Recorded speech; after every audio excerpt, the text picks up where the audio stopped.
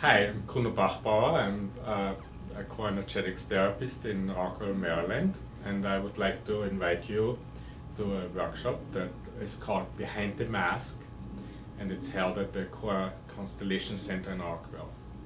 So what I want to invite you to is a, a deep look into the social mask of uh, that we carry around uh, as a like a business card, so to speak. And the mask is hiding deeper feelings underneath and deeper, um, also deeper pain. Uh, so this workshop is about finding out about the mask. There's three different main masks that we can carry. One is love mask, the other one is power, and the third one is serenity. Um, it's kind of not enough time to explain all of these masks right now, and that's why I want you to come to this class that's a whole day long to explore that with different exercises, core energetics, body work, and um, mindfulness uh, experiences.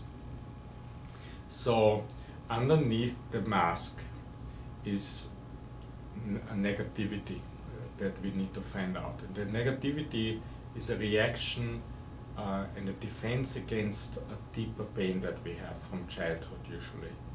Uh, and when we find out that deeper pain, it frees up our life.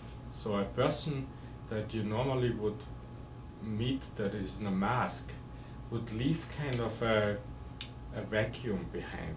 So somehow you would feel like not really, um, the communication is not clear, you feel like a little sticky afterwards, you feel like tired, uh, drained, uh, or just not true. So, so this, this workshop is about coming to your truth. And um, with the truth there is pain, usually like you, you find out what you really don't want to feel usually.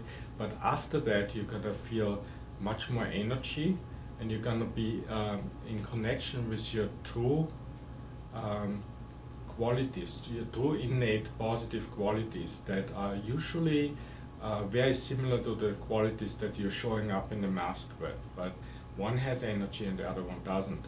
So what I'm inviting you to is to find your true energy behind the mask.